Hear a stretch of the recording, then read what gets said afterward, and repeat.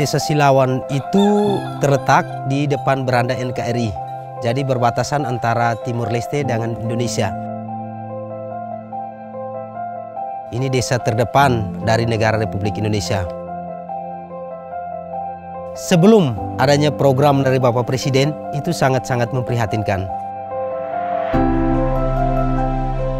Paling sulit itu adalah soal ekonomi mereka hasil kerajinan yang ada, salah satu yang menjadi dominan di sini adalah tenun dan anyaman.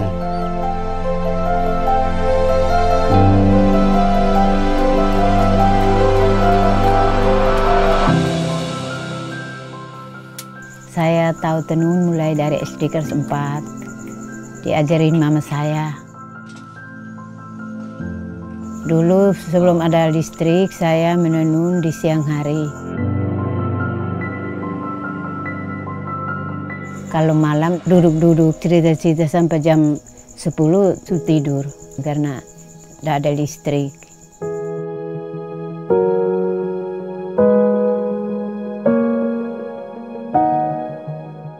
Kalau anak-anak belajar karena ada lampu pelita kecil tidak bisa belajar, mungkin dong belajar hanya jam 6 sore saja. Mau belajar atau mau ujian harus paksa. Paksa belajar pakai lampu pelita. Ya karena belum ada listrik pakai lampu pelita memang kita kasihan anak-anak. Yang pertama karena mata, pengaruh mata. Yang kedua anak-anak malas karena kurang terang, kadang-kadang mereka tidak belajar. Yang paling dominan di sini adalah soal rumah dan listrik. Dengan adanya dana desa, tahun ini mereka usul, tahun ini pun kita akomodir. Listrik itu sampai dengan saat ini, sampai di tahun 2017, dengan adanya dana desa baru bisa terbangun. Dari dana desa itu bisa membantu mereka. Tenunnya sesudah ada listrik, mereka menenun di malam hari. Itu terbantu.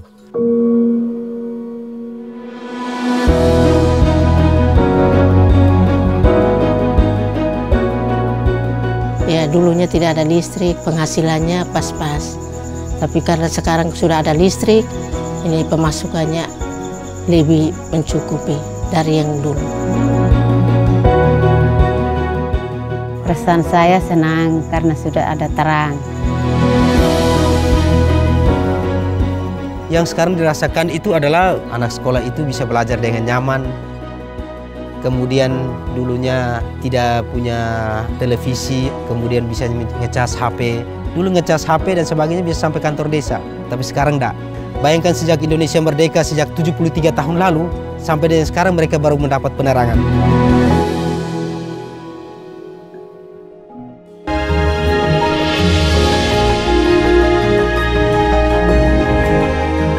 Ke depan kita fokus kepada pariwisatanya.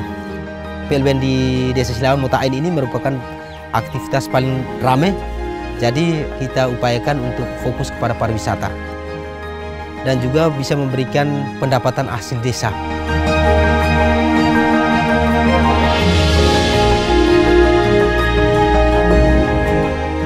Untuk semua teman-teman kepala desa di seluruh Indonesia, mari kita kelola dana desa ini secara baik secara transparan, terbuka buat masyarakat, sehingga masyarakat kita bisa sejahtera.